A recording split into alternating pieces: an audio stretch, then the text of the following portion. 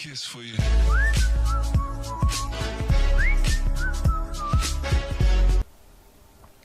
Bismillahirrahmanirrahim. Welcome back to my brand new video. And in this video I am going to teach you how you can read any Android project using Android Studio. So a, a, lot of guys were asking me to make a video on how we can read or how we can understand the source code of or, or if we uh, download any source code from the internet or the github. So we have to understand the code in order to uh, edit it or in order to use the source code. So in this video I will be teaching you on how you can read any of the source codes if you have any source code. So you can you will be able to understand the flow of the code and you will understand all the things which are required in order for you to understand any project alright so let's get started. So there uh, as you can see I already have a project which is open and I I myself have developed this project and okay so first of all uh, first thing first so the first step of uh, of understanding of or uh, checking the source code is you have to uh, first of all okay. So basically what is the flow of this uh, is like if we want if we open the application so how we open the app? We open the app by opening the app icon okay? So after we click on the app icon the app our application starts running okay? So the first thing which we have to check is which first activity is getting opened okay so which is the first activity or the default activity that gets open when we open our application? So in order to check this we have to first of all check all the manifest files. Okay i mean all the code inside our manifest. So this is the manifest file or you can say the driver file of our application project. So first of all here you have to uh, press ctrl f.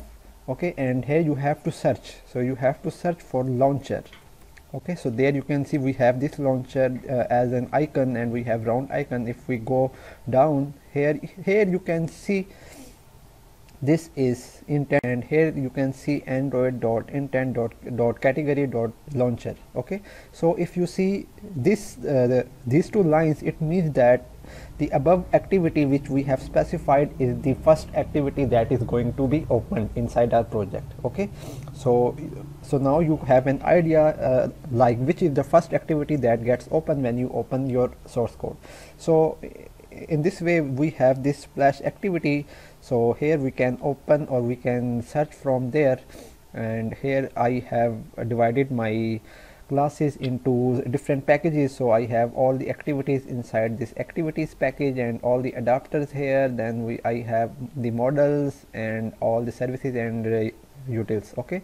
So we have to find the splash screen. So there you go we have this splash activity okay? So there you can see we we are uh, when the application is opened this activity runs and this is the source code that runs. Okay so there you uh, you can have an idea uh, that this is the splash activity and from this splash activity after two seconds we are going to open the main activity. So there we can open the main activity here and I close all the things here. So that is the flow. Okay so now this is the main activity and here you want to check this xml file. So you have you can check which is the design uh, of this activity. So there you can see i we have this design and so you now have an idea that we the first uh, screen which will be opened is this screen.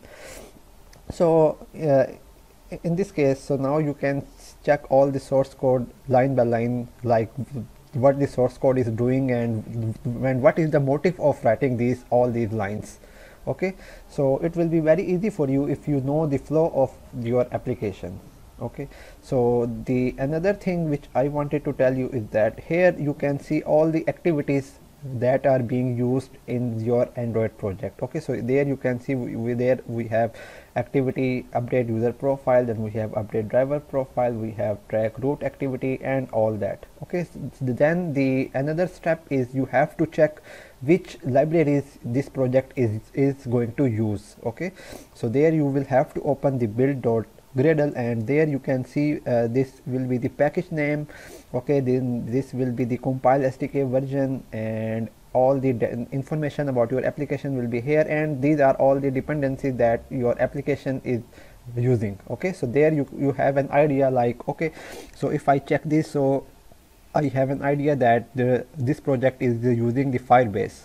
Okay then I have this idea that it is using the SDP library in order to use the font font size okay then these are for the card view and the material design library. And there if I check this I know that this is the butter knife library which is used for view binding. Alright and these are all the uh, the dependencies for the Google Maps or the location and all that. Alright so that's how you read any android project. So let me open another project. So here you can see i have this project uh, which i just imported into my android studio. So the first thing is you have to go to your, your manifest file. Here you have to check which is the main uh, launcher. So, so here you can see this is the main activity that is going to open in this application. So after you open this main activity there you will see all the source code here. So you, in order to understand and in, in order to understand the flow of this so first of all here you have to check which what is the xml file. Okay so here you have an idea like this is your xml file. It's using the tab layout and it's using the float floating action action button. And there we have the app bar layout with which includes the uh, the toolbar. Okay so now here what is it doing? It's now you can easily understand this the flow of this app like after this which activity is going to open from there. So you can check and you can find and there yes. Okay so now you can see uh, chapter activity is going to open somehow on some event and their test activity is going to open uh, you can see open test and all that.